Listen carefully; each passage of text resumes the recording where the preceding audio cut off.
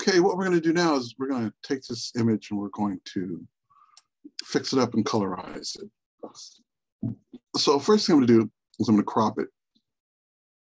And before I crop it, I'm going to straighten it. So I'm going to unlock the lock layer here so I can free transform and rotate. And I'm going to eyeball this. I'm going to go to image, I'm sorry, edit, free transform, and I'm going to grab by the corner and I just want to straighten the bottom where those kids' feet are. I think that looks good. Let's commit. And then let's free transform, edit free transform. I'm sorry, let's uh, um, crop. Bring it in now.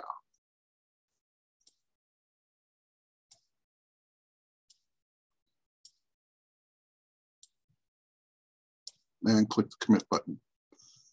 That looks much better. All right, now let's do a um, level adjustment on this image. I think it needs a level adjustment.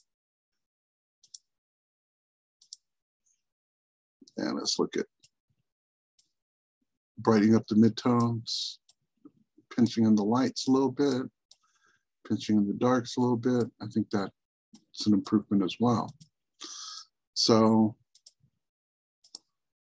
yeah, a little bit better tonal quality there. Now, I'm going to click into the bottom layer and I'm going to colorize the image. This, this uh, we looked at using um, a duotone and duotone effects, which paint the whole color uh, a, a, tint.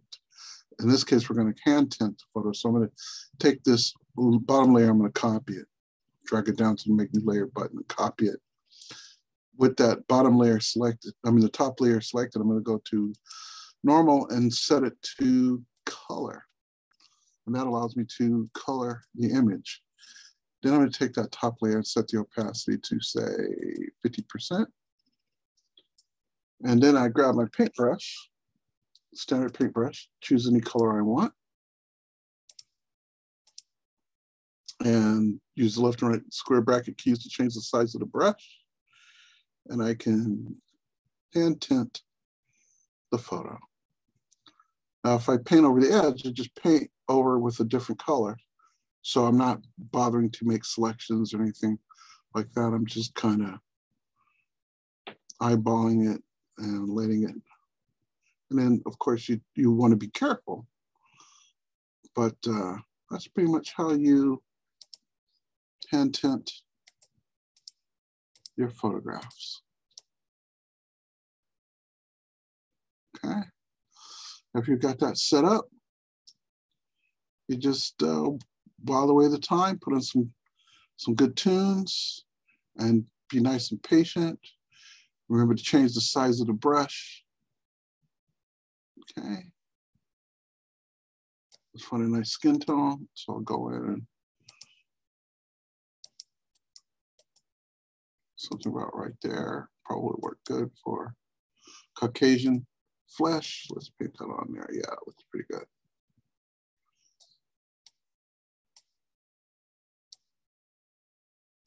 Maybe a little darker.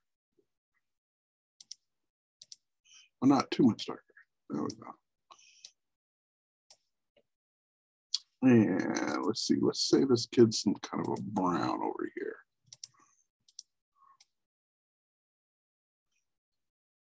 And that's how you hand tint your photos.